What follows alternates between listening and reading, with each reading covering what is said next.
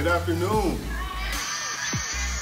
We are doing a road show called Hoops 4 Health. Can everyone say Hoops 4 Health? All right. Okay. All right. So for those who don't know, we are a professional basketball team. All right. So we have a men's program and we also have a women's program as well. So today you're going to be lucky enough to deal with one of my teammates. This is Rex. Everyone say hi to Rex. Hi, everybody. Good to see you All guys. right. And we also have a member of our women's team. This is Monte. Everyone say hi to Monte.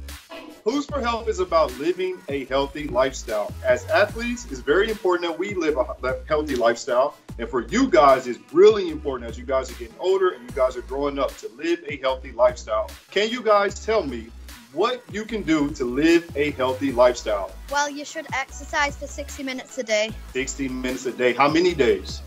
For every single day. Every single day. Every single day. Five to seven. Give them a hand. Good job. You could box because it's got loads of different types of fitnesses in. You like to box? Yeah. All right, don't box me, all right? All right, all right give her a hand. Good job.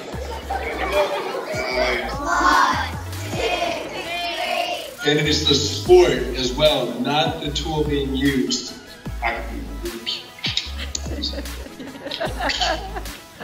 Can we switch over to the orange page in task three, please? Today we will be talking about the health benefits of eating healthy. Because what we put into our bodies helps give us energy to allow us to do the best possible uh, work that we can no matter what we do. So, 28 meters by 15 meters. How can we figure out what is the area? What is the area? And also, what is the perimeter? Well, I timed them and I got 420 meters squared. Are you sure that's right? Yes. Are you sure you're sure it's right? Probably not. it is right. That is good. Give her a hand.